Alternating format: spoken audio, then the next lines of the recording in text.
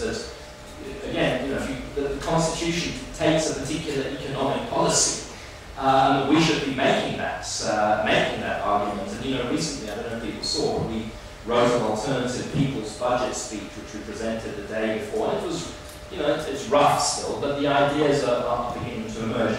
And the second point is just that you know, you point the state doesn't have the capacity to manage production. Well, yes and no. You know, what I see in the state is a lot of capacity. The problem is that the elites frequently disorganize the capacity. And even if you accept that there is incapacity or shortage of capacity, nothing is being done to create the capacity. In fact, the opposite is being done was being done when we started to close nursing colleges and stuff. So, so how, you know, how do we press to create the capacity and how do we press for an alternative economic policy that can allow greater redistribution. And again, how do you use the Constitution as a, as a claim to make that? The very last point, is the leadership different from the Mbeki leadership, which Mzwakhe said? I, I would say yes and no, but not fundamentally in its economic orientation. And certainly the Mbeki leadership wasn't, wasn't clean of corruption, it just cut the ground in many ways for subversion of the rule of law. It just did it in a slightly less open way uh, is happening with what we see at present.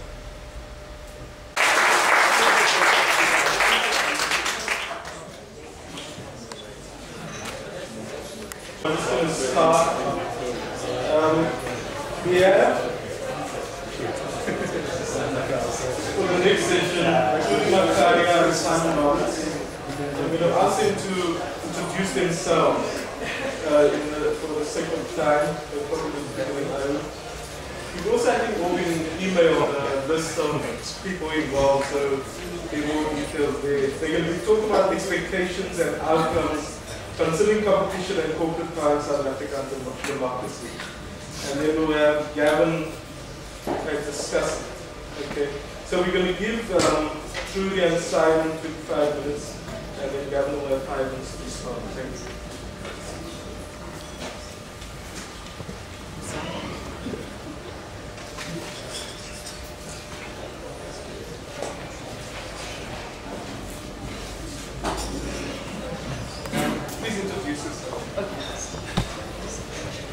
Okay, morning everyone. Uh, we've been instructed to introduce ourselves. I think they, um, there's some uh, brief biographies in the programs. I'm Trudi Makhaya.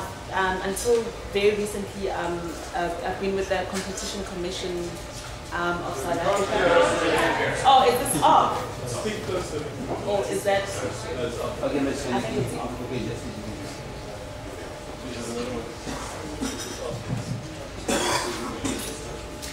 He's gonna put it up.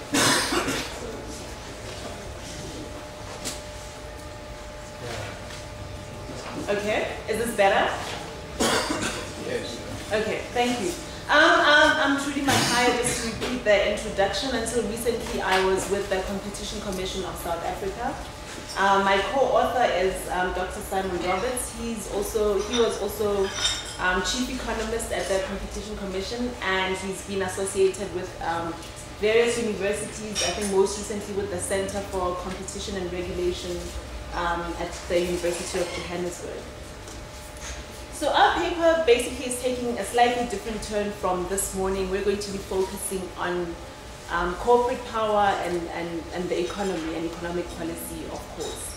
And with using competition um, as a lens to think about some of the issues that we've been um, discussing so far. So in the early 90s or late 90s, competition com policy was seen as a way, in a sense, to open up access um, in the economy. It was very clear that there, there were certainly distortions um, that had been inherited in the economy. And as part of the policy package going forward, um, a lot of it was premised on growth, um, economic growth, and economic growth that would be delivered by efficient markets. Um, at least that, that was the premise on which most of the um, economic policy then um, was crafted and, and, developed.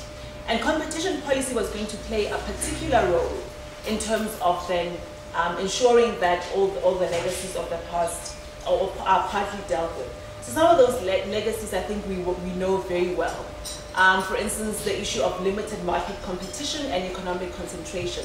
Um, as we show in the paper, there aren't many measures of economic, easily understandable me measures of economic concentration, uh, but just looking at the stock exchange, you'd see that uh, pre-94 it was dominated, I mean, over 40% um, represented one conglomerate.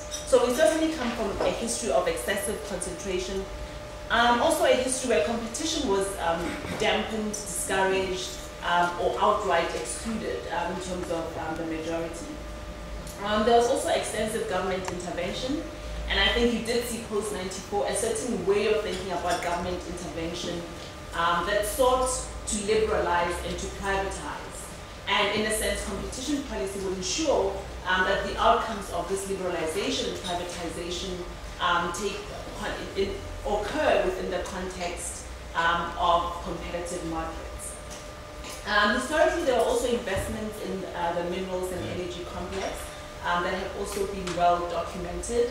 And once again, uh, policy going forward viewed those um, investments as um, interests to then uh, be privatized and in so doing raising revenue for the state as opposed to continuing with um, uh, those assets as state assets. I mean, that, that was a choice um, that, that, that was made. So we examined um, this record using three case studies. Um, case studies looking at competition dynamics in those markets, but also how um, the past, the dynamics of the past have managed um, to sustain themselves even um, after the state has, state pushed towards liberalization um, and privatization and this premise um, that markets could be made to be efficient and in so doing could uh, uh, be supportive of economic growth.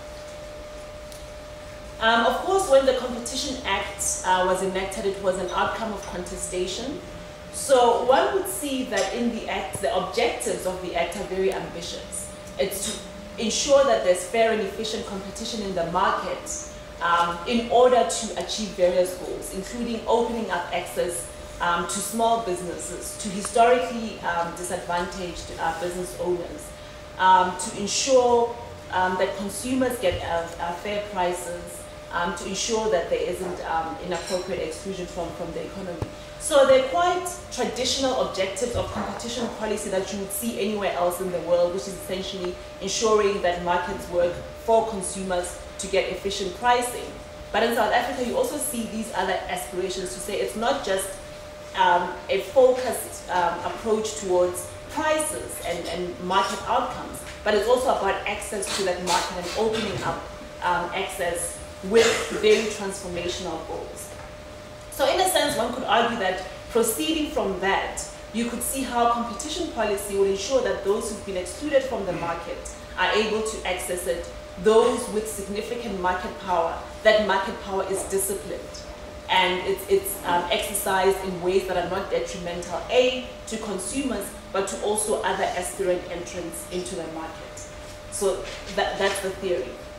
Now, in terms of the powers that the Act actually gives to institutions, you know, those powers have to do with how you then enforce the competition law. So, for instance, um, competition law covers various um, aspects of economic activity. Um, let's take abuse of dominance. Um, the only way that competition policy would ever really achieve its aspirations is if the authorities are able um, to check um, dominant players and ensure that they do not abuse their dominance. But then there are various tests within the Act that establish what dominance is, tests which establish when um, competition could be said to be lessened in a substantial manner. And in many ways, if you look at those actual tests in the provisions, they're very strict and they set up a very high burden of proof, or, or certainly what we think is a high burden of proof, before one can argue that competition has actually been lessened. So you have legislation with fairly broad um, and ambitious objectives about what the policy should do, but the actual instruments that you have in actualizing that seem to be uh, far more restrictive than the objectives would suggest.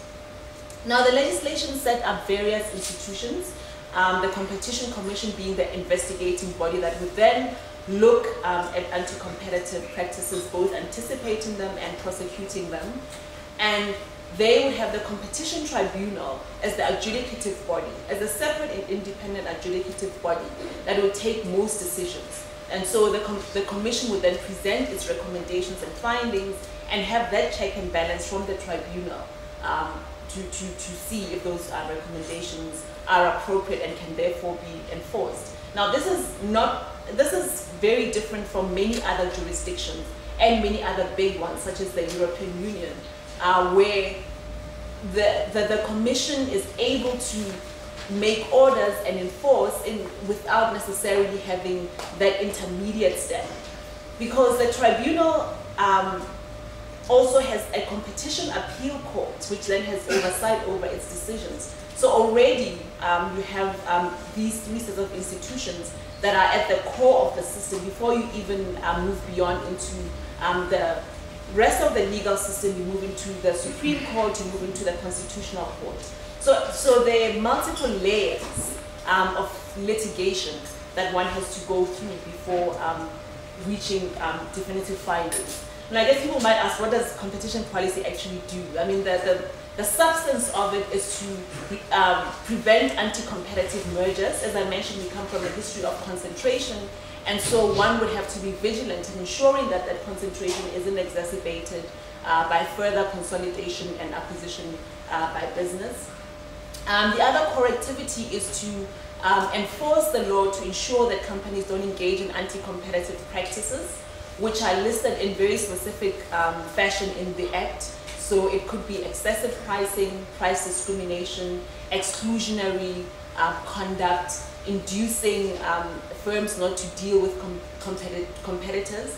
So there, there are various um, acts which are seen as anti-competitive, which lessen competition, which um, the abuse of dominance and the restrictive practices provisions would look at. Um, and also um, investigating cartels. I think that's the more popular aspect of our work um, to ensure that companies, even if they are separate, um, conspire and find ways to remove competition among themselves, obviously to the detriment of the economy. Now, so far the authorities are 15 years old. Um, mergers are kind of very uh, routine work that the authorities have to assess. And in many instances, one can say um, the authorities have been successful in blocking major anti-competitive uh, transactions that, that would have um, occurred in, in their absence.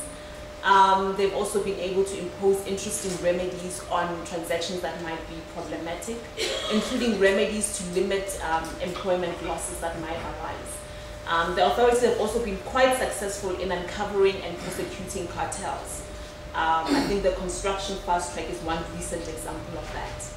However, when it comes to abuse of dominance, and I think this is where you have some of the more um, egregious practices that exclude um, competitors from participating in the market, then you find that actually there have been very few cases, um, in spite of having many dominant firms, um, a lot of anecdotal evidence about how difficult it is to maneuver in the market. Uh, in 15 years, we've had uh, maybe slightly over eight findings um, of abuse of dominance, and only three companies have actually literally paid fines. Um, South African Airways, Foskor, um, Telkom twice.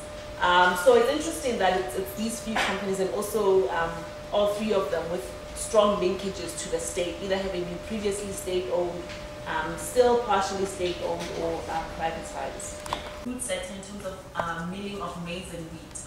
Now, historically, this has been a very regulated sector, starting with, um, you know, from the 1910s, the, the Agricultural Products Marketing Act, and many other pieces of legislation which sought to regulate and support agriculture um, in South Africa in terms of price regulation, in terms of access to finance uh, to farmers, in terms of setting up cooperatives that would um, organize farmers to, to, in their production, um, access to silos, great infrastructure, many um, instruments that were put together uh, in terms of supporting agriculture over time. Um, Mid-90s and deregulation came and there was an idea that these markets should function as any other market. There shouldn't be um, single channel pricing mechanisms. There shouldn't um, uh, be uh, the kind of state support that had been um, historically engaged or at least the nature of state support um, changed.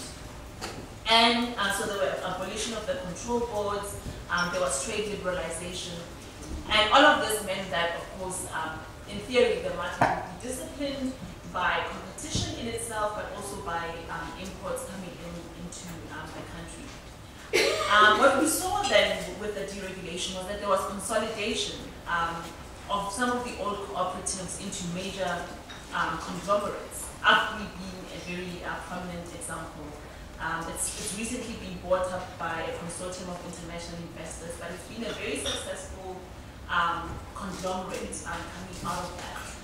Um, there were also then um, organization of the industry into associations that in some ways um, the, the consolidation into corporate entities but also the associations seem to perpetuate um, the ways in which the industry um, had been treated uh, prior to 1994. In other words, it seemed that the deregulation and the idea of vigorous competition and, and lack of cooperation and open markets was subverted by these other arrangements and consolidations that happened. So whatever the wisdom or otherwise of the policy, in reality, one can say it didn't even actualize itself because um, the interests in the industry found ways of organizing themselves um, that would be contrary to what um, a, a deregulated market would look like.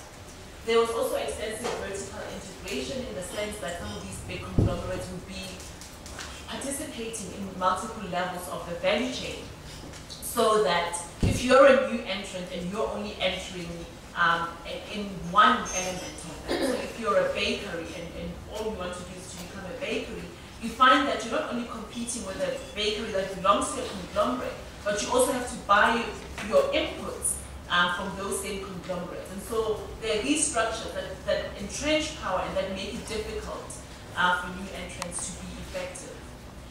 Um, and of course, the conglomerates also then control some of that old infrastructure that had been developed with state support. So the silos um, became essentially, of course, privatized, and access to silos then becomes an issue for farmers, for traders, anyone else um, trying to enter the market. So those who own the processing um, capability and those who own the infrastructure then have power and determine the outcomes um, in the market.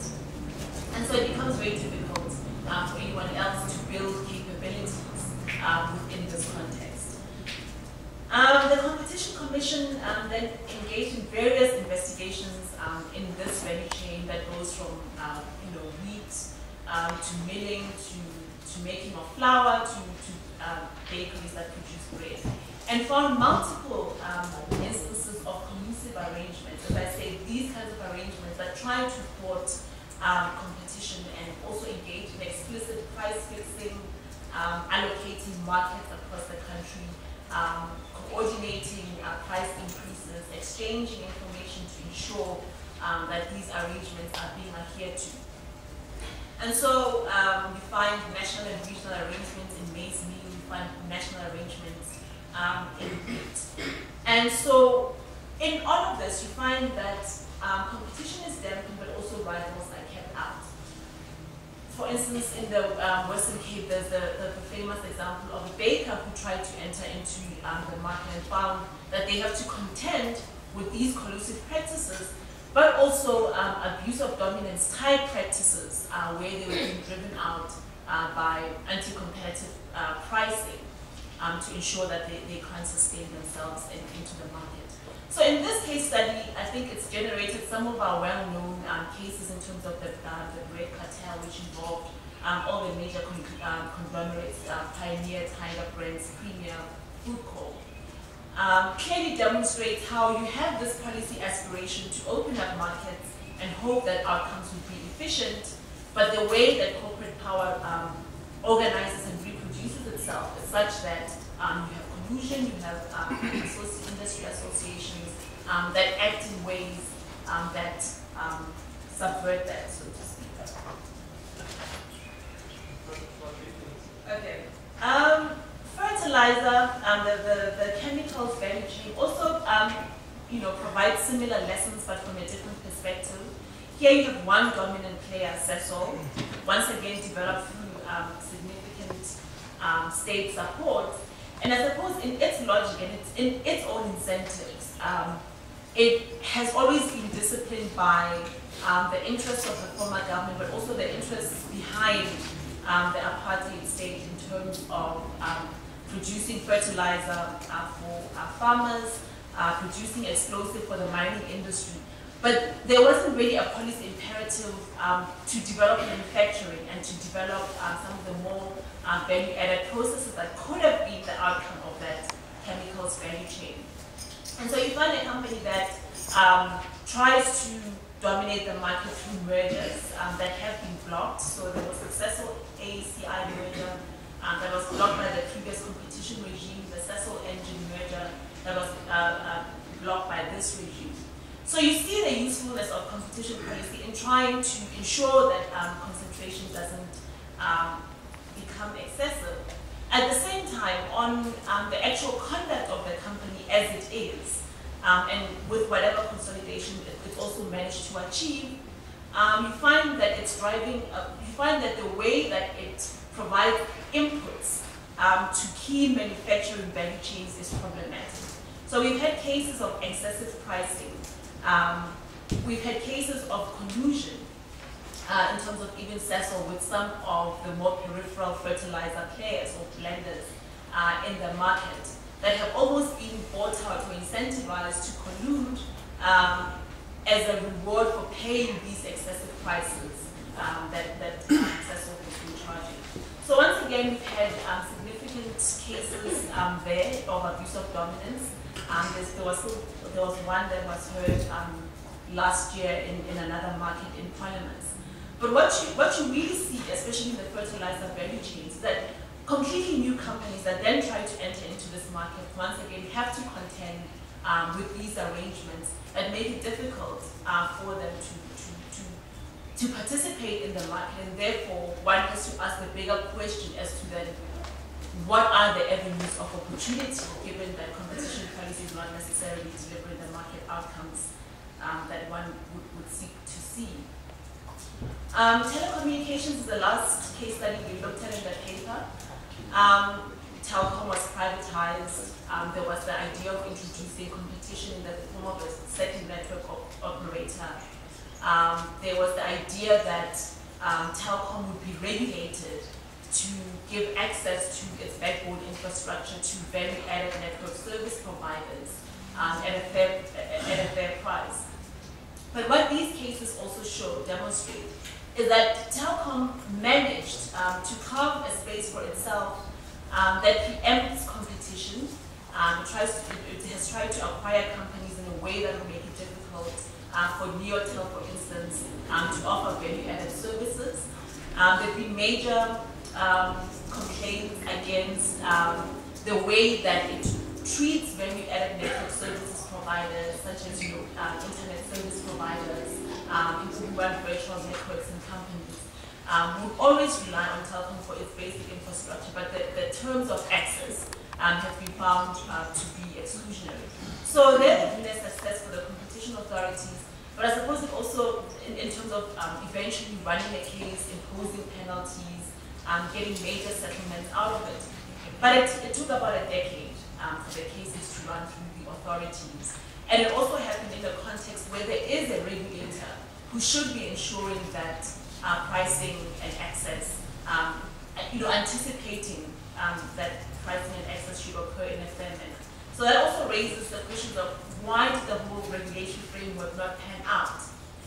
And one then has to look at the incentives of government which is the policymaker, which is the body that empowers the regulator in terms of resources and its independence, but which also find, found itself in a position where it still maintained an ownership stake um, in Telkom, and, and, the clash of incentives um, seem to have played itself out in a way that Telkom ends up, um, you know, with all these cases and, and having um, to deal with um, this legacy of um, anti-competitive behavior.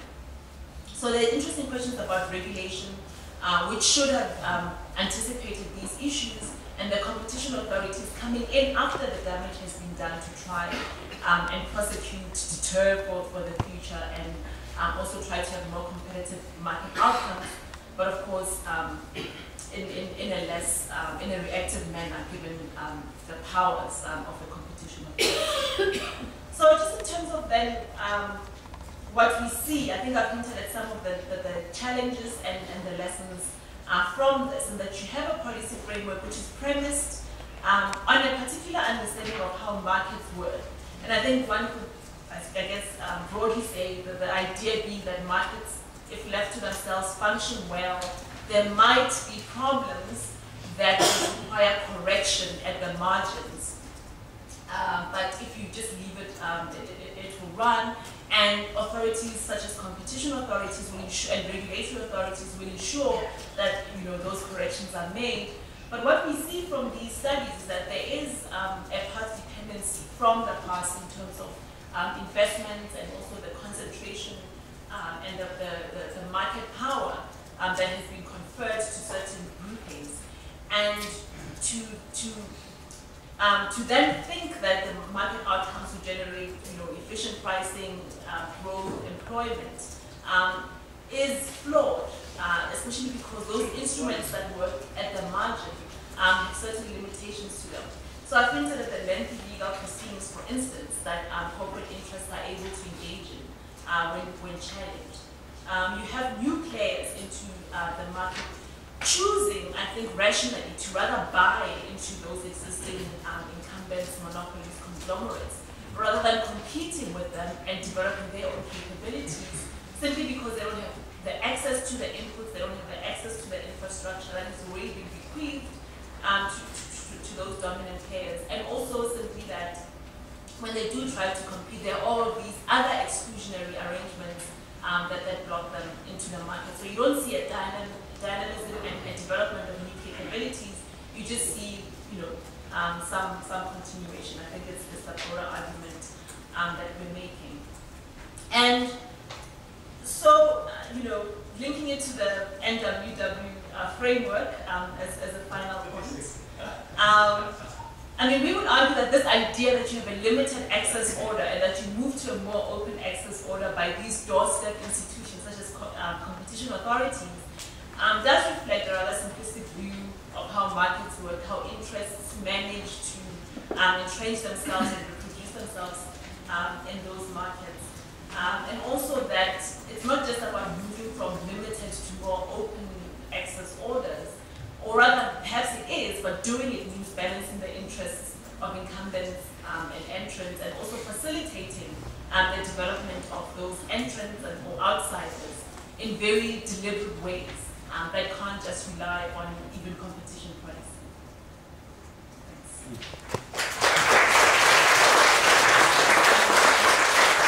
which is called SWOP. And um, I'd like to thank the organisers for asking me to act as a discussant on this paper because, of course, when you are a discussant, hypothetically at least, you should read the paper closely. And I'm very glad I did because actually it's an incredibly incisive and insightful paper. And I mean, that, that in part obviously comes from the fact that both Trudi and Simon have been insiders within the Competition Commission, but also as well that they're political economists, heterodox political economists, and that they've brought those tools of analysis to bear on the cases they've been working with, I think in very illuminating ways. Now, in my comments, there are a number of ways we could approach this paper, but in my, my comments, um, I want to take a particular angle and see whether we can bring something out of it for discussion. And the way of framing that angle is actually to start with another political economist, which is an observation of Marx. It's always good to start with Marx. So here's a quote from Marx on the German ideology. Whilst in ordinary life, every shopkeeper is very well able to distinguish between what somebody professes to be and what he really is, our historians have not yet won even this trivial insight. They take every epoch at its word and believe that everything it says and imagines about itself is true. And I think one of the really interesting things about this paper, which is implicit, although it's also there in the title, but we can bring out more explicitly, is that it invites us to think about the relationship between, on the one hand, the ideology and policy prescriptions of neoliberalism, which have underpinned the South African competition regime. And on the other hand, the actual functioning of neoliberalism. And here I'm going to define that in the terms of Alfredo Filho, who was here from SOAS recently, where he describes the, or, or characterises the functioning of neoliberalism as the system, systematic use of state power to impose a hegemonic project of recomposition of the rule of capital under the guise of non-intervention and where the process of financialisation is at its very core. So what does, the, what does the paper tell us about the relationship between these two things? About, if you like, the expectations and the outcomes. And what does that tell us more broadly about the nature of neoliberalism and particularly its manifestation in post-apartheid South Africa? That's what I want to draw attention to. And I think the paper does it in a number of interesting ways.